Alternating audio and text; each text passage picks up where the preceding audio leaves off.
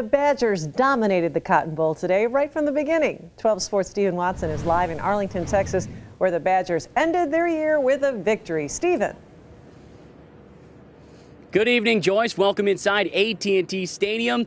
First trip to the Cotton Bowl is one to remember for the Wisconsin Badgers as they win their 11th game of the season, tying a program record. And let's get to those highlights between the Badgers and the Broncos. Fast start for Wisconsin on offense, highlighted by this one-handed acrobatic grab by Troy Fumagalli, the tight end. The catch sets up a short score by Corey Clement. Wisconsin on the board, 7 to nothing.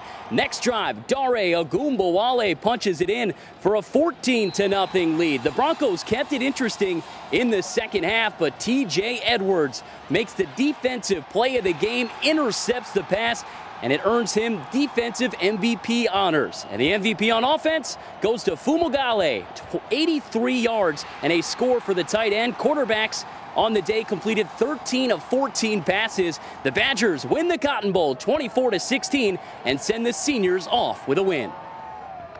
Oh, a lot. You know, I mean, obviously we had a lot of downs in the season, but we also had a lot of ups, and this is definitely one of them. And um, being able to finish finish a great season like this with a win like this is uh, everything we wanted. Left a good taste in uh, Wisconsin's mouth leading up to next year, so that's all that matters. And I'm proud of this team, and you know. We'll celebrate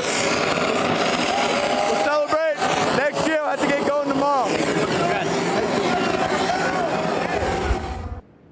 And that senior class, they win 41 games. That is a school record. It's the third straight bowl win for Wisconsin, which ties a program best, which earned them all a confetti party here in Dallas. Live inside AT&T Stadium, Stephen Watson, WISN 12 News.